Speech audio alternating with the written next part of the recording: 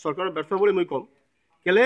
আগৰ পৰা আজি আজি এসপ্তাহ আগৰ পৰা যি চৰকাৰে যদি ষ্টেপ ল'লেহেঁতেন তেনেহ'লে এনেকুৱা অৱস্থা নহ'লেহেঁতেন। একচুৱেলি কথা হ'ল মানুহে দিগ্ভ্ৰান্ত হৈ কোনে শত্ৰু কোনে মিত্ৰ এইটো বুজি নাপায়। যাৰ ফলে মানুহে একচুৱেলি মানে বঙালীবিলাককে শত্ৰু বুলি ভাবি লৈছে গতিকেই এনেকুৱা কাৰবাৰ কৰিছে।